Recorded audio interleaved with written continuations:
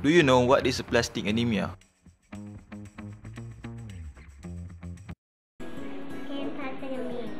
Okay. I am aplastic. I am aplastic. I am aplastic anemia. I am aplastic anemia. I'm aplastic anemia. What is aplastic anemia actually is?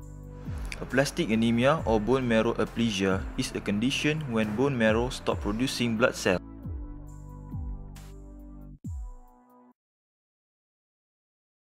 Would you want to know what causes aplastic anemia?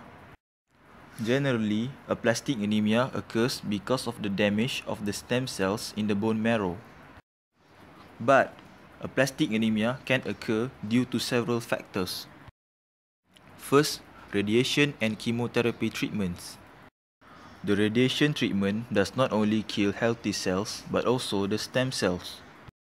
Second, exposure to toxic chemicals.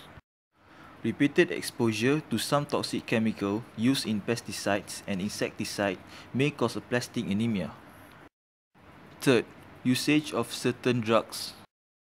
Some medications such as those used to treat rheumatoid arthritis and some antibiotics can cause aplastic anemia. The fourth one, autoimmune disorder.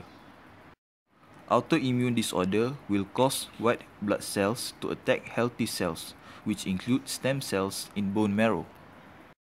Fifth, viral infection. Some viruses such as hepatitis, parvovirus, B19 and HIV have been linked to aplastic anemia. Last but not least, pregnancy.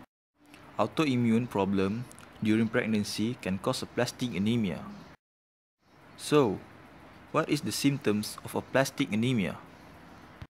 Fatigue and shortness of breath. Rapid or irregular heart rate. Pale skin.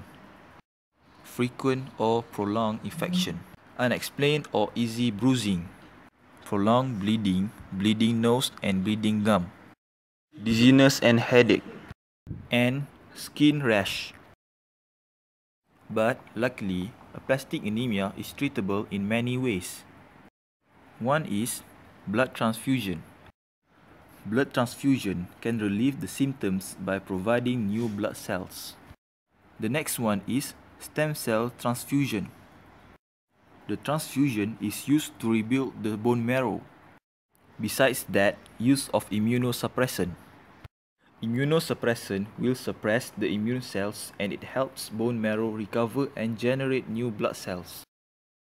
Other than that, use of bone marrow stimulant. Bone marrow stimulants can stimulate the bone marrow to produce new blood cells.